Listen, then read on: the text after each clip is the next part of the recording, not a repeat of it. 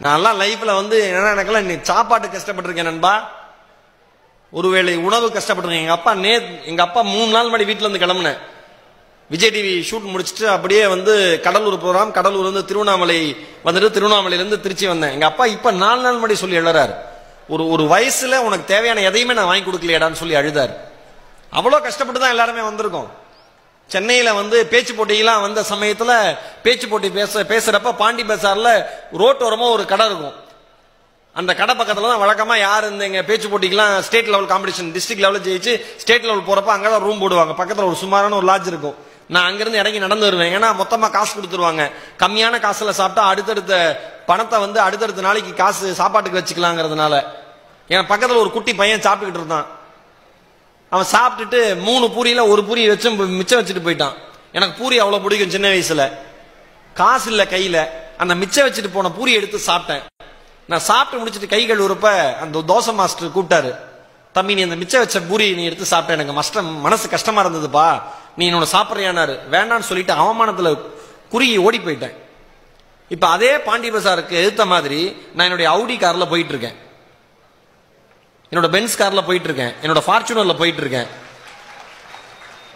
யோசிச்சு பாருங்க எவ்வளவு பெரிய வளர்ச்சி எவ்வளவு பெரிய வெற்றின்னு வாழ்க்கையில யாரும் கஷ்டப்படாம வரவே முடியாது. இன்னைக்கு இருக்கிற இளைஞர்களுக்கு என்ன தெரியுமா பிரச்சனை? கஷ்டப்படாம ஜெயிக்கணும்னு நினைக்கிறீங்க. கஷ்டப்படுங்க அவமானப்படுங்க அசிங்கப்படுங்க. அப்பா அப்பா வந்து அவ்வளவு ஸ்ட்ரிக்ட் அப்பா அவ்வளவு ஸ்ட்ரிக்ட்னு எல்லாரும் சொல்றீங்கல்ல. அப்பா மேல சில பேர்லாம் அப்பாவை என்னுடைய நண்பர்கள்லாம் நான் ஸ்கூல் படிக்கிறப்ப காலேஜ் படிக்கிறப்ப பேசி கேட்டிருக்கேன். அப்பாவை அசிங்கமான வார்த்தைகளை சொல்லி திட்டுவாங்க. அந்த அளவுல தான் எனக்கு நிம்மதியா இல்லைம்பாங்க. ஆனா ஒன்னு யோசி ஒன்னு சொன்ன அப்பா அவ்வளவு கொடூரமான ஆளா அவங்க முன்னாடி தெரியறாருல? அவர் வேலை செய்யற இடத்துல போய் பாருங்க. ஒரு சாதாரண பியூனா இருப்பாரு. இல்ல ஒரு ஒரு ஒரு கடையில ஒரு சாதாரண ஒரு டெக்ஸ்டைல் ஷாப்ல ஒரு சாதாரண சேல்ஸ்மேனா இருப்பாரு. உங்க அப்பா உங்களுக்கு பெரிய ஆளா இருப்பாரு. அங்க ரொம்ப ரொம்ப சாதாரணமான ஆளா இருப்பாரு. ஓனருக்கு செருப்படுத்து போடுறவரா இருப்பாரு. ஓனர் காரை துடைச்சு விடுறவரா இருப்பாரு. என்ன வேணா ஏன் கழிவறையை சுத்தப்படுத்துகிற தொழிலாளியா கூட இருப்பாரு. என்னை பொறுத்தவரைக்கும் யார் தெரியுமா உண்மையான தியாகி? தன்னுடைய குடும்பத்திற்காக தன்னுடைய குழந்தைகளுக்காக தன்னுடைய குழந்தைகளுடைய எதிர்காலத்திற்காக தன்னுடைய தன்மானத்தை அடகு வைத்து விட்டு ஒரு இடத்தில் வேலை செய்து அதற்கான வருமானத்தை வைத்து ஒரு குடும்பத்தை காப்பாத்துறான் பாருங்க ஒரு ஆம்பளை அவன் தான் தியாகி.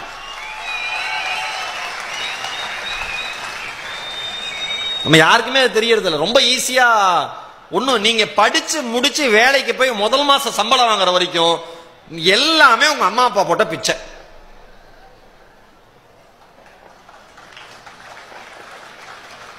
முதல் மாசம் சம்பளம் வாங்கி அடுத்த நாள் நீங்க வாழ்ற வாழ்க்கை தான் உங்க காலில் உங்க சொந்த காலில் நீங்க நிக்கிறீங்க நீங்க வாழ்றீங்கிறது அர்த்தம்.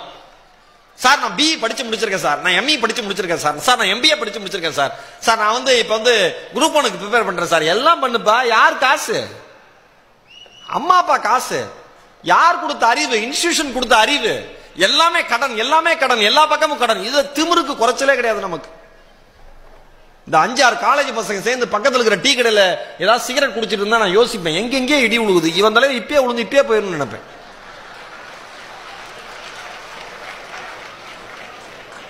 இன்னைக்கு பெருமையா போச்சு.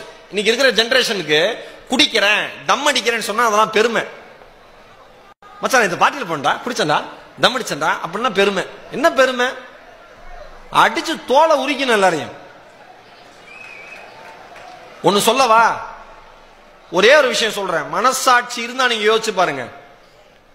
இன்னைக்கு இன்னைக்கு கிராஜுவேஷன் எல்லாம் முடிஞ்சிருது. இன்னும் ஒரு நாள் நீங்க தூங்கி எந்திரிச்சு நீங்க அம்மா அப்பா தூங்கிட்டு இருக்கிறப்ப நீங்க எந்திரிச்சு போய் நடு இரவுல நடு நிசியில போய் அந்த தாயுடைய முகத்தையும் தந்தையோட முகத்தையும் ஒரே ஒரு நிமிஷம் பாருங்க. உங்களோட அம்மா அப்பா முகத்தை. ஒரே ஒரு நிமிஷம் பாருங்க. வாழ்க்கையில மொத்தத்தையும் வாழ்க்கை மொத்தத்தையும் உங்களுக்கு கொடுத்துட்டு எப்படியாவது என் பையன் முன்னேறிடுவான். கடைசி காலத்தில் உட்கார வச்சு ரெண்டு வாய் சோறு போடுவாங்கிற சின்ன ஆசையோடு அந்த இரண்டு ஜீவன்களும் படுத்திருக்கிற அந்த விதத்தை பார்த்தீங்கன்னா வாழ்க்கையில் எந்த தப்பும் பண்ணணும்னு உங்களுக்கு தோணாது. எனக்கெல்லாம் வெறி நண்பா வெறி. எங்கள் அம்மா காது கேட்காது. உலகம் முழுக்க ஈரோடு மகேஷோட பேச்சை கேட்டு சிரிக்கிறாங்க. ஈரோடு மகேஷ் பேசுனா கை தட்டுறாங்க. ஈரோடு மகேஷனுடைய தமிழ் உச்சரிப்பு அவ்வளவு அழகா இருக்கும். அவர் பேசுற த- தமிழ் கேட்கவே இனிமையா இருக்கும். அவ்வளவு செயல் தெரியும். அவ்வளவு இது தெரியும். எல்லாருமே எல்லாம் சொல்லுவாங்க. உலகம் முழுக்க வருஷத்துக்கு நாற்பது உலக நாடுகளுக்கு பயணம் போறேன். டிவி இண்டஸ்ட்ரியில அதிகமா ஜிஎஸ்டி கட்டுற ஒரே ஆள் நான் தான். பெருமையா திமிரா சொல்லுவேன். தமிழ் படிச்சுட்டு இன்கம் டாக்ஸ் நோட்டீஸே வந்துரு வீட்டுக்கு.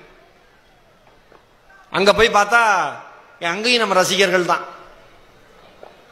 என்னப்பா சார்? அப்படின்ட்டு அங்கே ஒரு அரை மணி நேரம் பேசிட்டு கட்டிடுறேன் சார்ன்ட்டு வருவேன். அம்மா காது கேட்காது. சொந்தக்காரங்களாம் அவ்வளோ கிண்டல் பண்ணுவாங்க. இந்த குடும்பம்லாம் அவ்வளோ சிறப்பாக வராது அது இதுன்னு சொல்லிட்டு. அப்பா அதோட அர்த்தம்லாம் எனக்கு புரியல. வளர வளர அவர்கள் பேசின வார்த்தைகளுடைய வீரியும் வலியும் எனக்கும் இன்னும் மனசில் இருக்கு. எங்கள் அம்மா எதை பற்றியும் கவலைப்பட்டதில்லை. என்னை வந்து விகடனில் கேட்டாங்க ஆனந்த விகடன் பத்திரிகையில் யார் உங்களுடைய ரோல் மாடல்னு கேட்டப்ப நான் அம்மான்னு சொன்னேன். ஏன் அப்படின்னா தன் குழந்தைக்கு தனக்கு காது கேட்காதுங்கிற குறை தெரியக்கூடாதுங்கிறதுக்காக தெரியக்கூடாதுங்கிறதுக்காகவே எனக்கு நினைவு தெரிஞ்சு ரொம்ப வருஷம் கழிச்சு தான் அம்மாவுக்கு காது கேட்காதுங்கிறது எனக்கு தெரியும். அவ்வளோ ஸ்மார்ட்டாக பிஹேவ் பண்ணுவாங்க. நானும் ரவுடி தான் படத்தில் நயன்தாரா மேடம் லிப் ரீடிங் பண்ணி கண்டு பேசுவாங்கல்ல? எங்கள் அம்மா ஆயிரம் நயன்தாரா.